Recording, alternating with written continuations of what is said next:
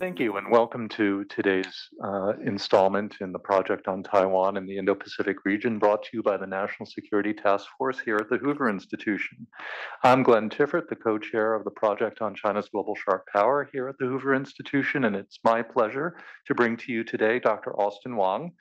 Dr. Wang is an assistant professor in the Department of Political Science at the University of Nevada, Las Vegas. His research focuses on political psychology, public opinion, and the politics of East Asia. His research articles can be found in the Journal of Peace Research, Social Media and Society, Asian Survey, and Political Research Quarterly, among others.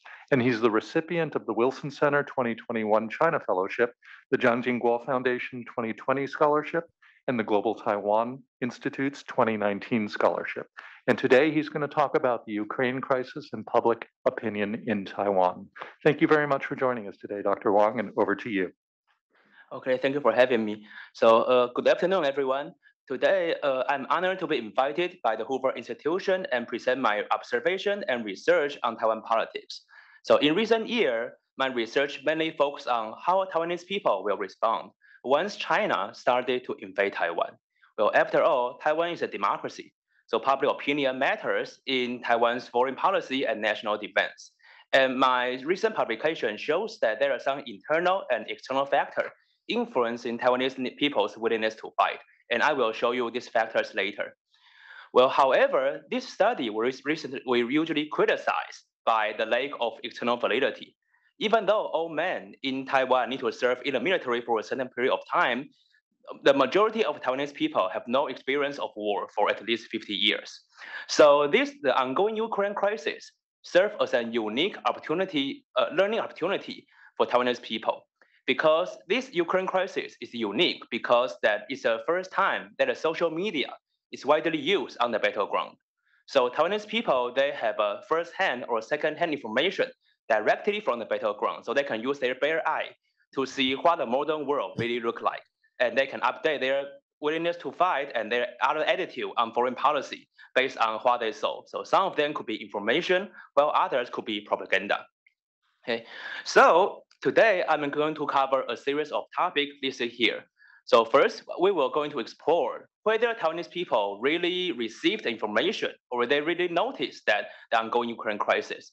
Because following the information processing theory, if Taiwanese people did not notice the Ukraine crisis, we cannot attribute to the change of public opinion to, uh, to the Ukraine crisis. And after that, we're going to focus on two issues. The first is that whether Taiwanese people, after they witness what is happening in Ukraine, they change their belief that the US will come and help Taiwan. Because previous studies already shows that Taiwanese people believe that the US will come or not, serious influence Taiwanese, Taiwanese people's attitude on other foreign policy. And the second, we will focus on whether Taiwanese people, they change their willingness to fight after they witness what happened in Ukraine.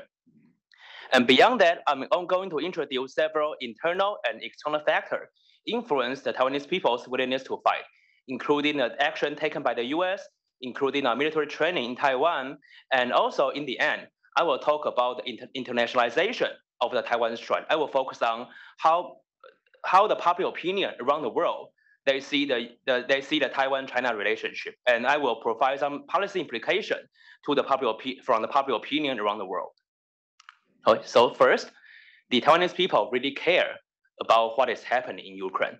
So my basic answer is yes.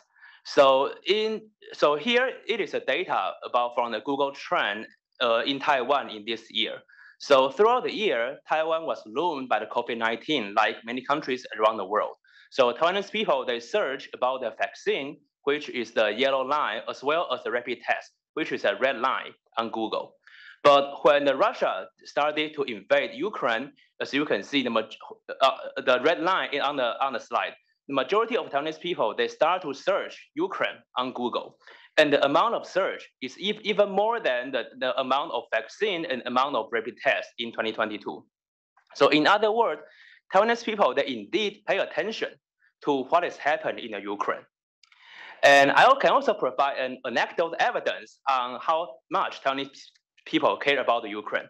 So it is a screenshot from a YouTube channel, which is a very fam- fam- famous talk show in Taiwan, which is called the Guanjian this talk show cover a variety of different topics. Some are politics, some are politics, some are international relations, and some are conspiracy, conspiracy theory, and some other are even about alien. So they will upload different clips based on the topic. And I took this screenshot uh, last week, and it shows that whenever this talk show talk about the Ukraine crisis, the view count of these kind of clips is 10 times more than all other clips, uh, including the domestic politics and including some political scandals in Taiwan. And this channel had 3, 3 million followers on YouTube, so which is a very influential channel.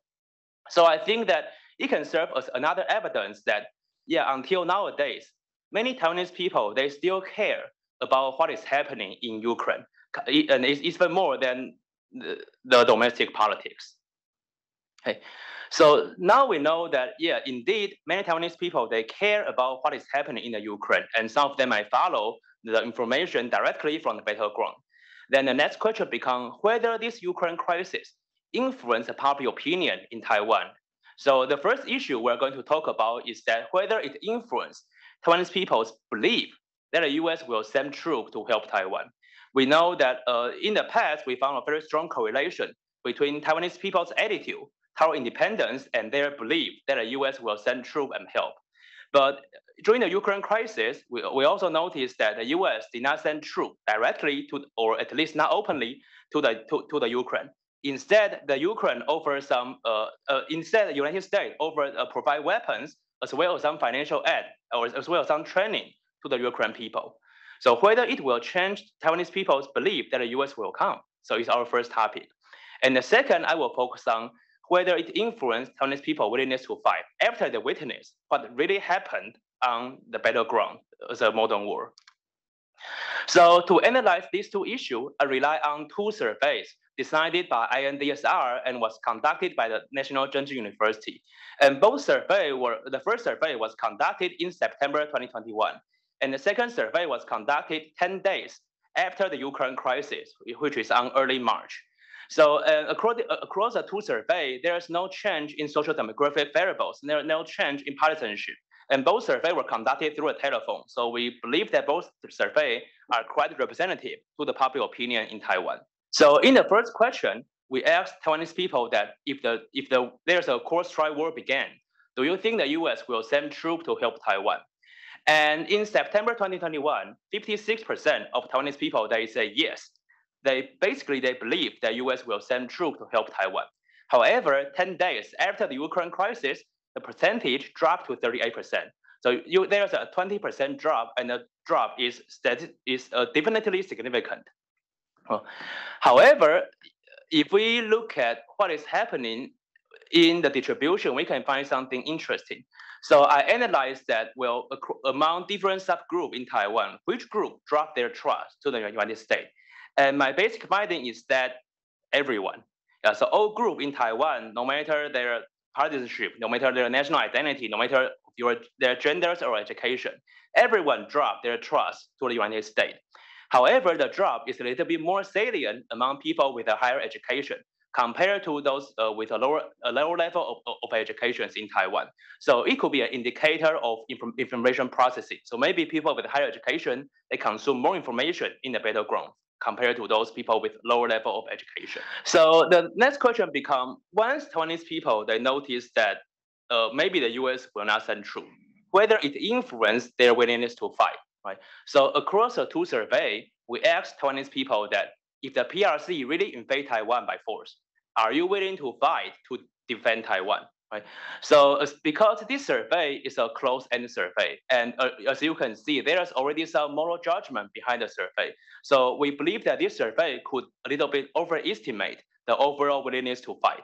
But anyway, if we compare the two waves of survey, you can see that even though in the previous question, Taiwanese people dropped their trust to the United States, but their willingness to fight did not change across the two survey.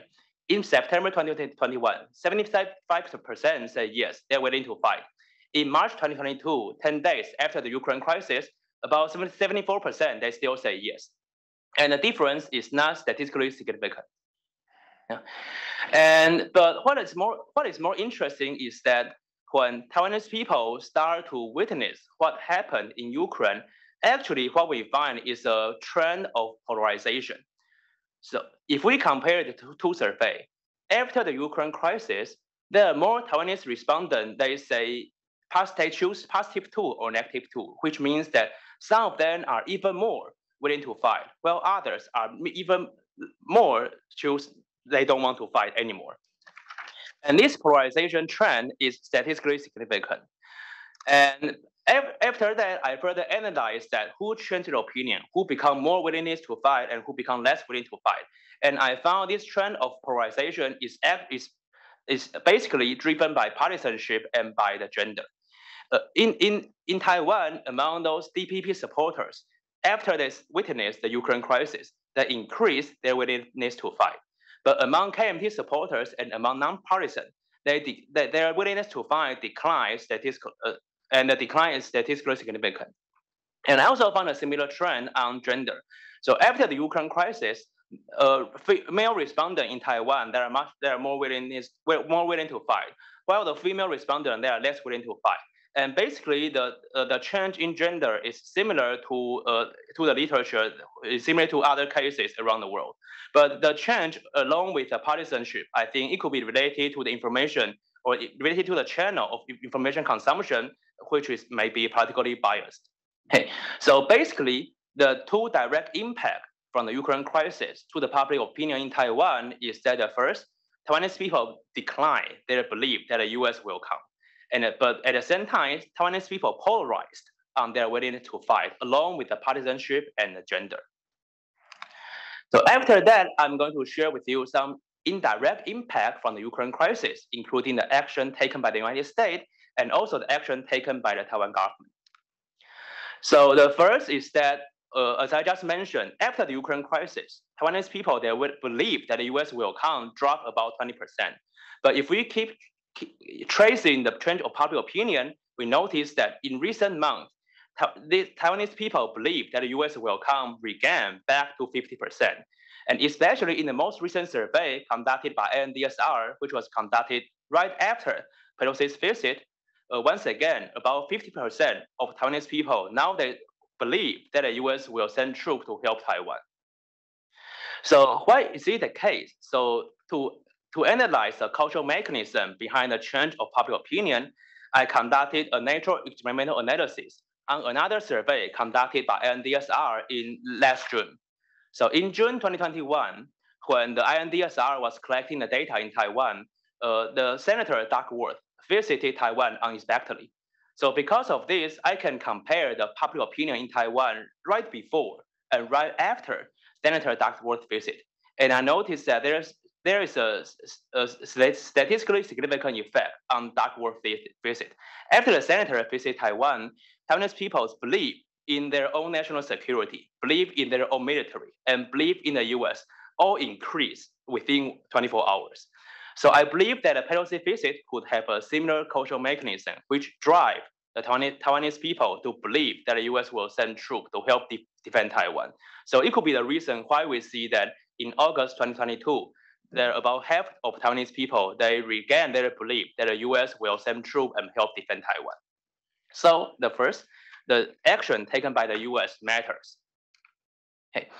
The second is about the military training. So we know that the Taiwan government just announced last week that it is they are discussing about whether to extend the military training in Taiwan back to back to one year because currently the male in Taiwan need to uh, be, need to be trained in the military for about four months. And Taiwan government are discussing whether to extend this military training back to one year.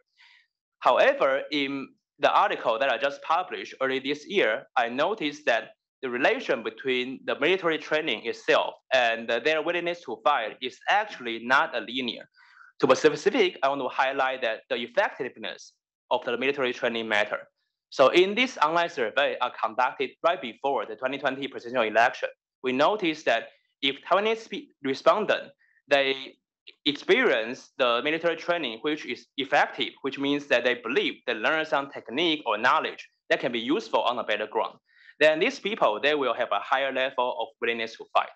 In comparison, if many Taiwanese respondents, they think what they learn in the military training is useless, then they will actually have a lower willingness to fight. So it means that even though Taiwan government extend their military training back to one year, if if if those if, if Taiwanese people they only all, all they did in the in the in the military camp is to just clean the camp or just to paint the floor, then actually it will have a negative impact on Taiwanese people's willingness to fight. So the effectiveness of the training also matters. And the third factor I want to highlight, or also, also the last factor I want to highlight is about the collective action. So actually, I in a series of survey experiments, I noticed that Taiwanese people's willingness to fight is actually like a self-fulfilling prophecy. So in this survey experiments, I asked some Taiwanese respondents that, well, if all other Taiwanese people will not fight, whether you still want to fight. And for other Taiwanese respondents, I tell them that if all others are willing to fight, whether you want to fight or not, right? And I found this treatment to be very effective. If Taiwanese people, they notice that other will not fight, then they will also choose not to fight. But at the same time, if Taiwanese people, they know they are informed that all others will fight, then they also choose to fight, right? So, so it has several uh, important implications in the study of the willingness to fight among Taiwanese people.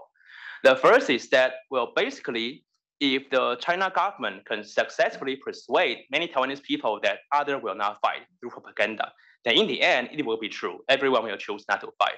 But at the same time, if Taiwanese government can successfully mobilize people to make everyone believe everyone will fight, then in the end, it will come true, right? So it also indicates that, well, it could be meaningless trying to find a precise estimation on the willingness to fight among Taiwanese people because that the level of willingness to fight is all about collective action. It's all about persuasion and mobilization. Okay, so after we talk about some internal and external factors um, in Taiwan on their willingness to fight, I want to highlight some public opinion around the world. Because we know that during the Ukraine crisis, one important intervention is that there are many countries choose to sanction Russia economically right? So this sanction also influenced the calculations in Beijing. So we're wondering that, well, if the China started to invade Taiwan, whether the China will face a similar sanction like the Russia received in recent year, right? So to, to uh, in recent month, okay? So to explore these issues, I analyzed a survey conducted by Democracy Perception Index. So this survey, they, they, it was conducted in 53 countries, and it is an online survey, and it was conducted right after the Ukraine crisis. So in this survey, the survey asks people around the world that do you are you do you support your country to sanction Russia economically, and do you uh, or do you support your country to sanction China economically once China starts to invade Taiwan? Okay, and here is the result. Here's a country level result. So basically, across all countries, if the if people in a country have a higher level of tendency to agree to sanction Russia, then the same country also have a higher level of tendency to sanction China. And the Pearson's R in the country level is 0.9, which is very strongly correlated.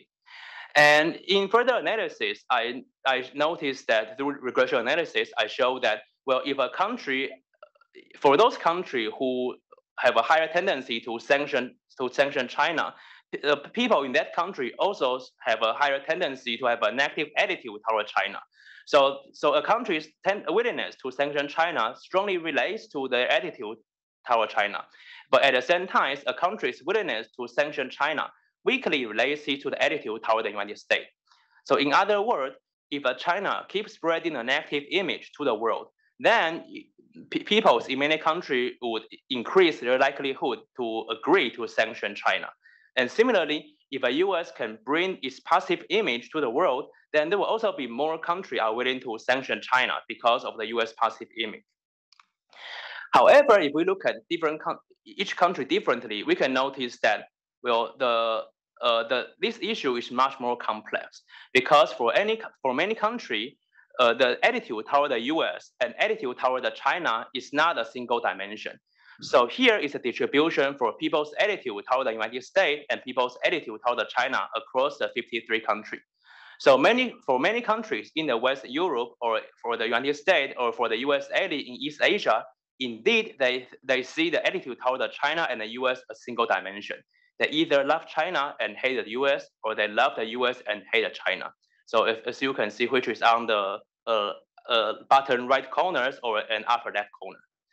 But for many other countries, they don't see the necessity to choose a side.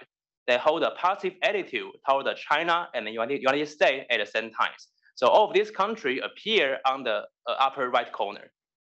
So for these countries, if the US and Taiwan want to mobilize this country to, to, to corner the China, then it needs additional strategy and additional effort trying to persuade people in this country that why it is necessary to choose a side between the China and the United States. Okay. So overall, I also provide some internal and external factor on Taiwanese people willingness to fight, and I talk about internationalization of the Taiwan Strait. So basically, it is all I can cover today. Today, I talk about whether Taiwanese people care about the Ukraine crisis and some factor direct influence of the Ukraine crisis to the popular opinion in Taiwan. And in the end, I talk about some factor regarding the U.S. regarding the Taiwanese people willing to fight, as well as internationalization of the Taiwan Strait. So that's all I can share. Thank you.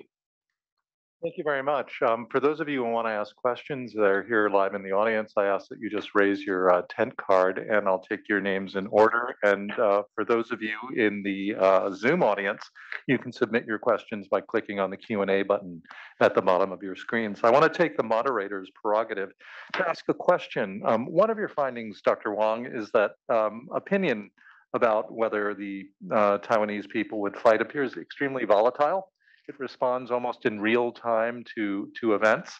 And it's also extremely fragile. That's the collective action problem. And so I wonder if you can extrapolate any policy prescriptions from that with regard to preparing for an eventual conflict, uh, if there is one between Taiwan and China. Hmm. Um, what in a perfect world um, would you like to see then to ensure that the outcome is desirable? Uh, I think it's a very good question. So actually, just like I mentioned at the beginning, it's extremely hard to study this topic, the willingness to fight, right? So I think we can draw the comparison between the, the, our, the result I found in Taiwan compared to the result that in the previous survey in Ukraine. So basically, the World Value Survey never conducted the survey in Taiwan and Ukraine together. And in the World Value Survey, it also asked people in Ukraine and Taiwan that once your country was invaded, are willing to defend your own country. And in the uh, in the World Value Survey, I think in the last two waves, in Ukraine, about 70% say yes. And it's, uh, in Taiwan, it's also about 70% of, of the respondents say yes.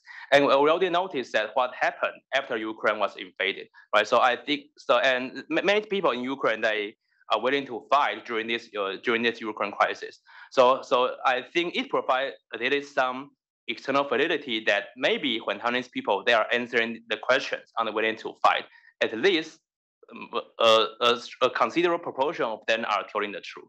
So I think that's my uh, first response to whether this kind of survey they are really reliable or not. And regarding your regarding regarding your second question, I think it is.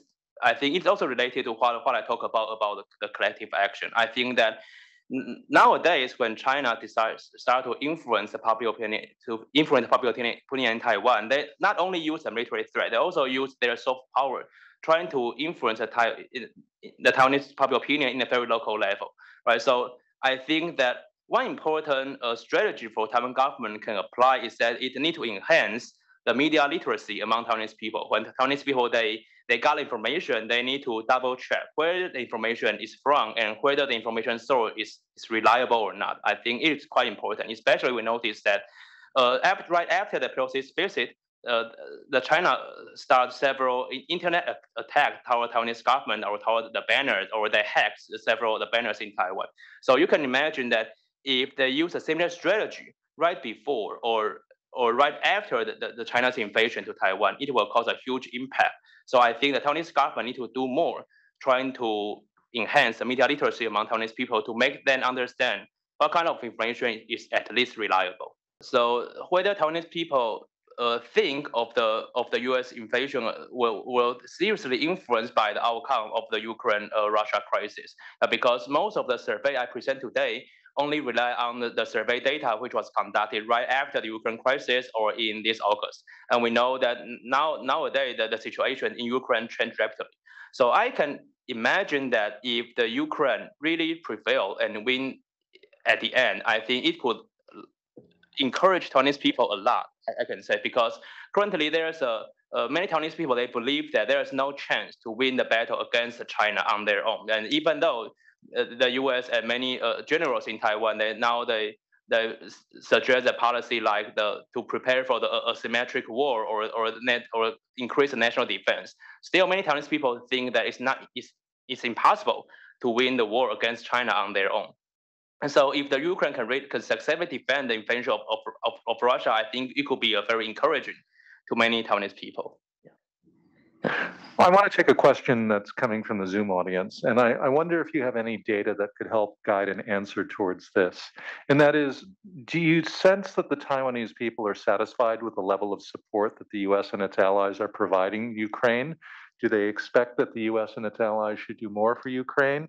Maybe what lessons are they drawing from that? Well, uh, at least in the survey, I haven't found any survey asking Taiwanese people that whether they are satisfied with the amount of help from the U.S. to Ukraine. I didn't see any survey like that. Right. Yeah, but I think that since uh, because at the beginning of the Ukraine crisis, many Taiwanese people they believe, and some of them even received the propaganda that the Kiev had already been occupied by the Russia, and in the end, it did not come true. So I think that the the current uh, Uh, better conditions in, in Ukraine had already surprised many Taiwanese people. So I, many Taiwanese people, they believe that they can, the Ukraine can, can resist the invasion of Russia. So far, it's because the help from the United States. So I think since the, U, since the Ukraine had, had not been be fully defeated right now, so I think it could be still be a very encouraging story to many Taiwanese people. Thank you, Jim. Hey, thanks, Glenn. Hey, thanks for coming out. I appreciate the, the talk and, and the insights.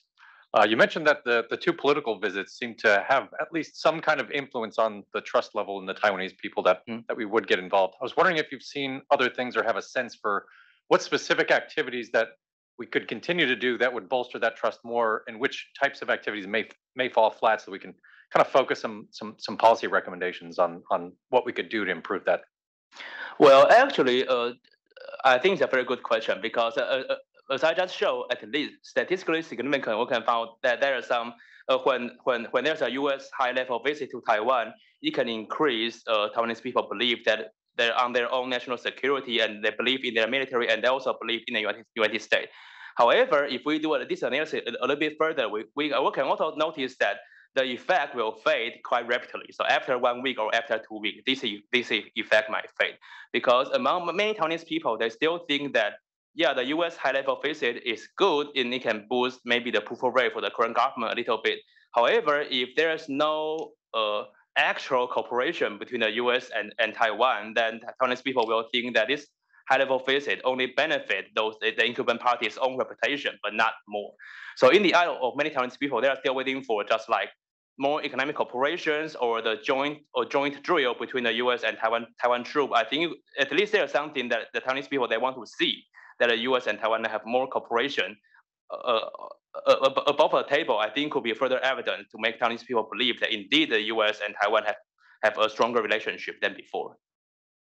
So if I could I summarize just to make sure I, am getting your point, it's sustained visibility on, on these things, not just flash in the pan type type events. Uh, yeah. Thank you. So I want to build on that actually. A question from the audience again, uh, on the Zoom audience. Uh, they want to go back to your slides and the findings that say that although the, the belief in the US coming to help sending troops dropped, for example, by 18%, um, immediately after the war, the willingness to fight did not drop so significantly. And so the questioner asks if it's your conclusion that the two are not linear, not related linearly, or maybe they're decoupled, or maybe there's a threshold relationship. How do you interpret those results? Yeah, actually, this result is quite interesting because in the past or across most of the study, including my own publication, we always find a very strong correlation between the belief that US will come and Taiwanese people's own willingness to fight because it's based on some rational calculation. Taiwanese people believe that if the US send their troops to Taiwan, then they have a higher, have a higher chance to win. If there's a higher chance to win, then I'm likely to to, to join the fight, right? But but I think so. So because of this, so the result in, in this March is so interesting. That's the reason why I choose to share it here. It's because there seems to be a disconnection between Taiwanese people's willingness to fight and and and they believe that the U.S. will come. I think we can see this change in the correlation partly because of the Ukraine crisis, and because in the Ukraine crisis, the U.S. did not send a troop to Ukraine, at least not publicly. But still, the U.S. provide a different kind of help to the Ukraine, so help Ukraine to resist. So in the end, the result so far is not that bad. So I think it changed how Taiwanese people, as well as a world, as well as a world, to imagine what the world will be in the modern world. Thank you. Please, Corey.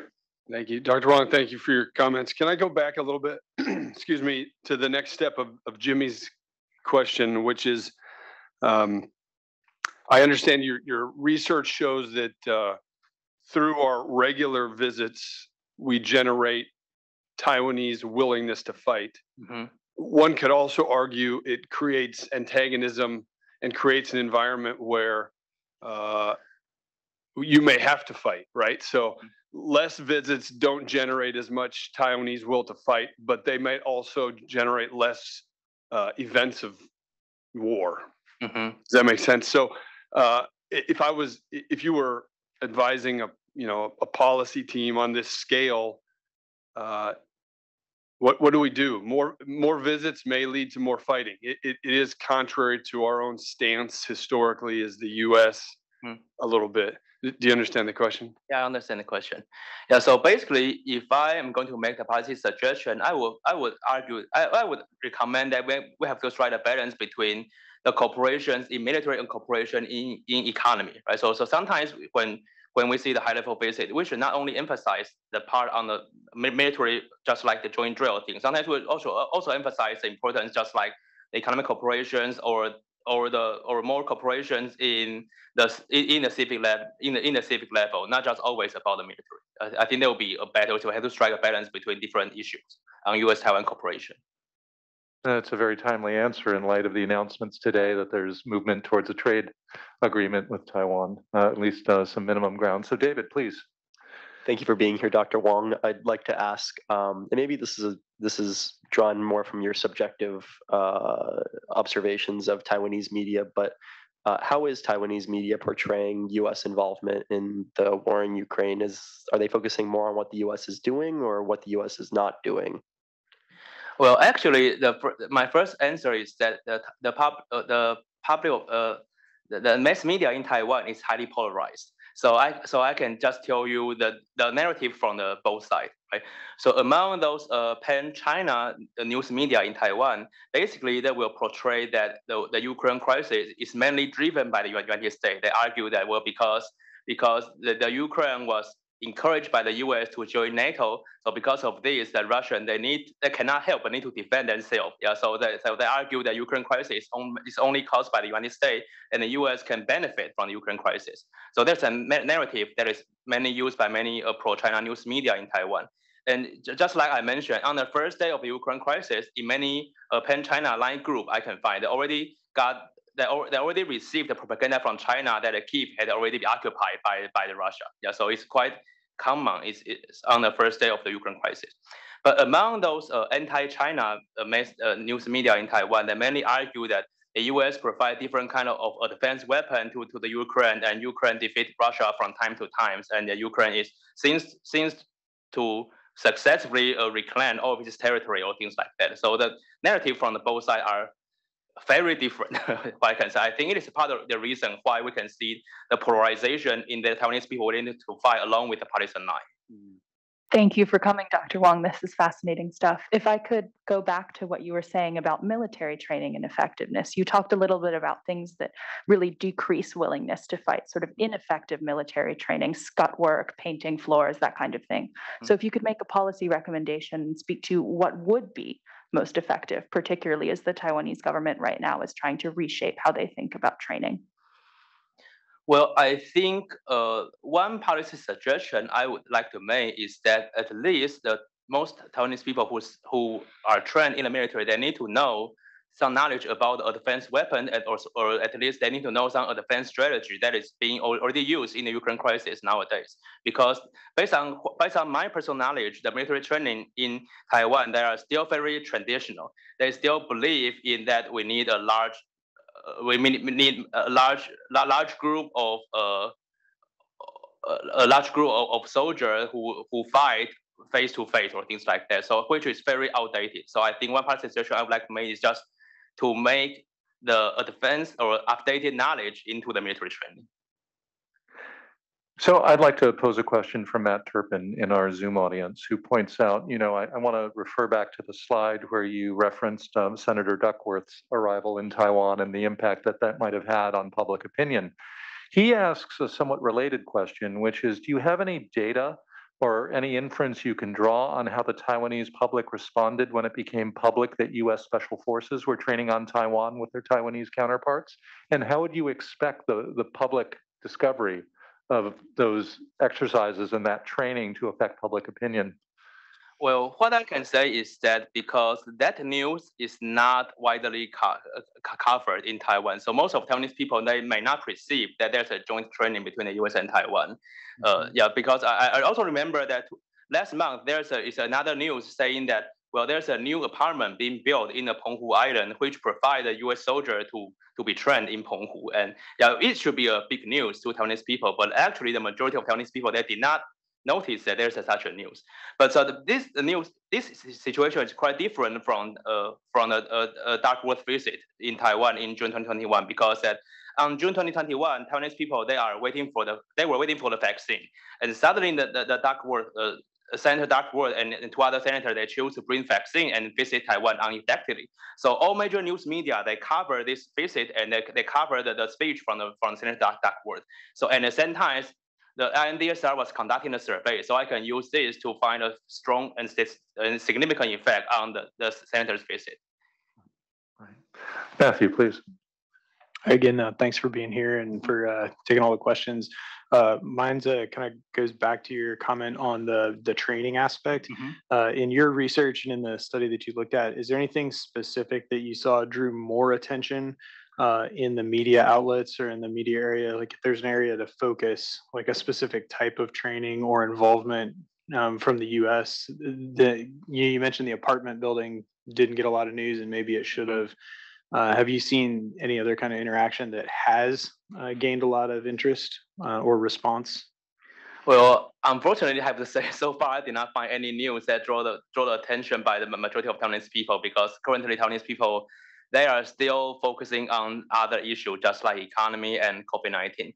But I can see that our the, the current president, uh, Tsai Ing-wen, should actively promote the coverage of the military. So according to one of my survey, uh, one of my study to analyze uh, President Tsai's Facebook, I noticed that she will post something about the military at least once a week. And usually when she posts something about, about the military, that post will receive more likes compared to other posts of uh, other posts just about other policy or other phases. So I can, I can say that well, President Tsai should try hard to promote the image of the military, but yeah, but but but so far because because it is still far away from people's daily life, so it did not draw too much attention from the Chinese public. Thank you. So I wonder if I can wander a little bit from, from this topic to other work that you've written on. Um, in particular, you've written a piece that argues that strategic ambiguity should be dropped. Mm -hmm. And I suggest that, you know, this is perhaps relevant to the topic that we're talking about today, that is, you know, Taiwanese people's willingness to fight and resist. What do you think um, the strategic ambiguity, strategic clarity debate, how is that playing in Taiwan and how does that affect the question of the Taiwanese public's willingness to fight and resist or not? Yeah, so I think it's a very good question. So, so basically, the article that I wrote about strategic ambiguity is that I suggest that currently uh, the strategic strategic ambiguity and another term which I call is about dual uh, dual clarity. They are not very different from each other. So, so I mean the dual clarity. It means that well, if so, strategic ambiguity means the U.S. never ex Uh, never reveal its own its true position. The U.S. never promised to help Taiwan, and U.S. never promised not to help Taiwan. Right? And in the, on the opposite, the dual clarity means that the U.S. openly say that it is going to help Taiwan, but with a with a pre, pre, that if Taiwan did not declare independence, so which means that if the U.S. openly claim that well, if Taiwan maintain the status quo, the U.S. will protect Taiwan. Then I call this as a dual clarity. So I also conduct a, a series of different survey experiments showing that if the US makes such a promise in dual clarity, then actually Taiwanese people will also lower their willingness to seek independence. So it can also maintain the status quo. So the effect is similar to strategic uh, ambiguity when the US never make any promise to either the China or Taiwan. So that's my main finding from a survey experiment. So, so I did not claim that the US should give up strategic ambiguity. So in that article, I only claim that the room for the US to maintain strategic ambiguity will become smaller and smaller because the nationalism is, in, is rising in Taiwan and nationalism is rising in China. And also, according to a recent survey by the CSIS, mo- almost 100% of the experts in the United States, they believe that China, when China is calculating its, its war against Taiwan, China already assumed that the U.S. will will will intervene, right? Since the so the U.S. believe that China believe the U.S. will intervene, so there's no not such so much difference between ambiguity or not ambiguity. So that's my perspective. So if I understand you correctly, one of the arguments that's often made in the strategic clarity debate is that it would be dangerous for the United States to demonstrate strategic clarity, even if it also demonstratively had the capability to realize it, because that would embolden the Taiwanese to seek independence. And you're suggesting that that's not true based on your survey data, that in fact it would reduce the risk of them taking a reckless maneuver for example, in provoking the PRC by moving further towards independence? Uh, yeah, because uh, one assumption that the strategic ambiguity always hold is about is, is about the principal agent problem. Right? So in the past, we believe that there's a moral hazard issue among Taiwanese people that if the U.S. promised to defend Taiwan, then the Taiwan will start to seek independence. And if Taiwan start to seek independence, then it will make China angry. So China will attack Taiwan. So the U.S. need to involve. Right. So this is what we assume about the strategic ambiguity, right? But in my study, I shows that if the U.S. declared that they are going to defend Taiwan, only if Taiwan choose not to independent, and I asked Chinese people that under this scenario, do you still seek independence? And my found the result is, is actually the opposite. Taiwanese people will say, okay, then let's just keep the status quo and let's choose not to be not to be independent. So this is my main finding from the survey experiment. So I did not find in empirical data about the moral hazard. So if even the U.S. promise if US put this prerequisite in at the beginning, then the Taiwanese people will choose not to change the, the status quo. Uh, I want to draw on a question from the audience again um, in Zoomland. Um, whether it's your data or other data, I wonder if you can point us to any insights on whether the Pelosi visit affected Taiwanese public opinion, and in particular the Chinese military exercises that immediately followed the Pelosi visit. Did that did that change the willingness to fight or the perception of the United States um, willingness to aid Taiwan? Do you have any indications? Um, because I think this is relevant for uh, how whatever message China was trying to send was actually received. Well, actually, I think that we can uh, analyze the Pelosi's visit in two aspects. The first aspect is just like what I presented. It actually, after the, the Pelosi's visit, we can see that Taiwanese people start to believe that the U.S. is going to uh, send troops to help defend Taiwan. But at, at, at the same time, I, if you look at uh, some other survey, which is not academic survey, we can see that uh, some Taiwanese people they lower their trust to the Taiwan president Tsai Ing-wen in in his manage in her management of the of the cross-strait relationship, because in the past few years, there's a very interesting phenomenon that the majority of Taiwanese people they they approve the the Tsai Ing-wen's policy on U.S. Uh, on the cross-strait relationship. But after the Pelosi's visit, we can see that the percentage declined a little bit, which is now is a little bit below the 50%. So some people they think that because because the Pelosi visit, some pe- some people in Taiwan they start to think that the U.S. the, the person side did not hand, did not handle the, the cross-strait relationship that well compared to maybe last year or two years ago. I see. So we have a very important um, set of local elections coming up in Taiwan that in, in some sense could also decide the future of the presidential election a couple of years later. Um, I was wondering if you have any insight on the extent to which the survey data that you're talking about today will weigh on those elections or whether they will be decided purely on local issues. To what extent uh, is the future of Taiwan, the Ukraine crisis, whether the U.S. would assist in in in defending Taiwan, uh, an election issue for this current election? Mm-hmm. Yeah, I think it's a very good question. So basically, what I found, especially in many surveys in Taiwan in recent years, and is that uh, after the Ukraine crisis or a little bit before the Ukraine crisis, we can see a trend that the majority of Taiwanese people now they choose to be nonpartisan, which is a new phenomenon that we haven't seen before. Because in the past, at least 60, 60% of Taiwanese people would identify themselves as either Pan Blue or Pan Green. But at the beginning of this year, now more Taiwanese, uh, at least more than 50% of Taiwanese people, they choose to be nonpartisan. So we can also see a similar trend in the Europe or, or also in the, in the United States. And this trend is unique is because that uh, in the past, we believe that the, the cross-strait relationship is the only important issues among Taiwanese people. But now many Taiwanese people, they start to think that maybe the future of Taiwan will be decided by the US and China instead of Taiwanese people their own. So they become less interested in the politics or they are less interested in the cross-strait relationship. So they don't want, to identify themselves as to be either pan blue or, or pan green. They only want to be non-partisans. So uh, based on the studies in political science, we know that when Taiwanese people choose to, when people choose to be non-partisan, then the information they consume will be different from those information consumed by, by people with partisanship. So I think that one uh, one uh, phenomenon we already seen is the referendum last year. In uh, at the end of last year, there was a referendum in Taiwan, and and the turnout rate in Tai for that, that referendum is really low. And based on many based on my my study, I show that I noticed that the referendum is mainly driven by the KMT supporters and DPP supporters. Most of the non-partisans in Taiwan they choose to be abstain in that very important referendum in, in 2021. So I think that since the majority of Taiwanese people choose to be non-partisans now, so it would so it also means that their turnout rate could be a, a, be even lower in this upcoming local election. So I can imagine that this local election, even though their survey data shows that well maybe the KMT or DPP they have leading in some district, I believe the result in this local election will be mainly driven by the turnout rate. And especially many people in Taiwan, they start to lose their interest in the politics. So I believe it could be, so the, the, the party mobilization would matter even more in this local election. Right. So thank you very much. Um, what about the battle to succeed, Tsai Ing-wen? Um, to what extent is uh, U.S. support one way or the other, uh, and the sense to, of public opinion on whether the U.S. would would aid Taiwan relevant to the succession of Tsai Ing-wen?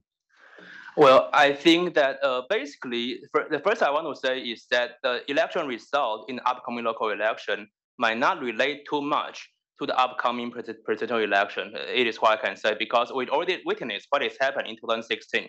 In 2016, the, the DPP was defeated totally in the local election, but the Tsai still got reelected in 2020, right? So, so I, so it's the first issue. And the second issue I want to say is that well, many Taiwanese people, they still believe in Tsai. So the Tsai's approval rate was, was still about 40%, so which is not low compared to, to the two previous president, Ma Ying-jeou or Chen Shui-bian. Yeah, but at the same time, I can see that many Taiwanese people, they start to, they gradually lose their patience on the many promise that President Tsai had already made, especially for the enhancing the uh, the economic cooperation between the U.S. and Taiwan. For example, in the last referendum in 20, in, in the 2021 referendum, uh, the majority of Taiwanese people they did not ban the U.S. the, the, the import of the U.S. pork. Yeah, but but during during the campaign, the DPP supporters they argue that uh, well this referendum is related to the future the economic cooperation between the U.S. and Taiwan. But after this referendum, did not pass. So far, we did not see too much advance on the economic cooperation between the US and Taiwan. So many Taiwanese people, they start wondering whether the Tsai can really deliver its, its promise on the, uh, on the economic cooperation between the US and Taiwan or Taiwan with other countries. Right. I, I invite others if they have questions to ask, but you know, so much of the discussion today has been obviously about about the Taiwan-U.S. relationship, but there's much more to Taiwan's defense and Taiwan's security than just its relationship with the United States. For example, there's Taiwan's relationship with Japan. I'm wondering if you can uh, point us to any survey data or results that would indicate um, how the Taiwanese public perceives itself within the region and its friends and allies and partners there um, irrespective of just the United States, because I think US strategy also, if we were to defend Taiwan in the event of a crisis, would also lean very heavily on participation from Japan, uh, and that would be pivotal. So look beyond just the United States and let's examine perhaps Taiwanese attitudes towards its regional partners as well. Well, according to many surveys that we can see, the Japan remains to be Taiwan's most preferred country. So if we ask Taiwan to to give the, the score from zero to 10 to all of the country nearby, the Japan always receive the highest score, which is even higher than United States, China, or South Korea. But I didn't see too many surveys actually Taiwanese people believe that whether the Japan will help defend Taiwan or not, because I think uh, many Taiwanese people they still believe that the Japan's action will actually uh, led by the United States. So so we, so Taiwanese people they still think that US United States is a is a is, is a pivotal player in in in the cross strait. Thank you, Larry. Uh, I'm wondering if you have survey data about attitudes in Taiwan toward Admiral Lee Hsi-min's overall defense concept. Mm. Is that if is that a subject of public opinion surveys? Are people in Taiwan gravitating toward the idea of um, investing? I don't want to use the word asymmetric. My colleague Jim Ellis keeps stressing to us that it's too frequently misinterpreted and misused, but toward the idea of a distributed defense with lots of small, lethal, mobile things, perhaps not to the exclusion of big weapons, bigger, uh, uh, heavier weapons, but at least with a substantial investment. Uh, one, we have gotten the sense that there's been a lot of resistance to the overall defense concept over the years in the professional military, but that maybe things are changing in the government. Are they changing in public opinion? Well, first of all, I want to say that uh, at least in the surveys I read in Taiwan, I did not find any survey really ask that question about uh, Lee Min-hsi's uh, strategy directly. So that's what I can answer. But I know that in the past few years, there are several surveys asked Chinese people that whether do you support the idea to extend the, the military training back to one year? And all, of the survey received the, majority of support, about 70% to 80% of Taiwanese people, they support such an idea. But you can say that this idea is partly driven by the fact that many Chinese people that will say yes because I will not serve in the military anymore because I already already retired. So only the young generation need to serve in the military. But even among the young generation, I still find uh, at least in the survey, even though there are not many young people in the survey, uh, a considerable proportion of young people that also support this idea. But as I just mentioned in my presentation, it still depends on the quality of of of, of, of, of military training. It's not just about extending the, the, the military training on its own. And, and also I have to say that when we ask about Taiwanese people's attitude toward this kind of military strategy, usually it will serious be serious influence on the, the, the alternative, what the alternative would look like. For example, I know that the Duke University, which where I graduated, had conducted a series of survey in the past 20 years. It asked Taiwanese people that do you, there are two options. The first is that do you support to buy more missiles from the United States? And the second option is that do you support some other moderate approach? So the so the question wording is just more moderate approach. Then so it's such a two option question. Most of Chinese people will choose the moderate approach, even though they have no idea what the moderate approach really is. But if we just ask people that do you agree with the idea that we should purchase more weapons from the United States directly? So if we just ask this question directly, then most of people will say yes. So I think that framing plays a lot of very important factors in public opinions on the, in Taiwan in their attitude toward the military training. So it all depends on what kind of, of alternative it could be in the survey. I wonder if you could reflect, because some of your data suggests uh, volatility and the fact that Taiwanese public opinion is highly responsive to current events. Um, the Taiwanese public opinion reaction to the statements of currently serving and recently serving US uh, uh, officials, for example, Secretary Pompeo, uh, he left office and went to Taiwan and suggested that Taiwan should declare independence. You know, he's not just an ordinary uh, American citizen, he's a former Secretary of State. Uh, he spoke in a much more direct way than, than most serving officials do, and certainly than, than Speaker Pelosi. And similarly, President Biden has four times indicated that there's more clarity than ambiguity, and then his administration has walked those statements back. And so, what effect does that have on public opinion? How is that interpreted? Well, basically, based on um, most of the academic academia uh, academic survey in Taiwan in the past 20 years.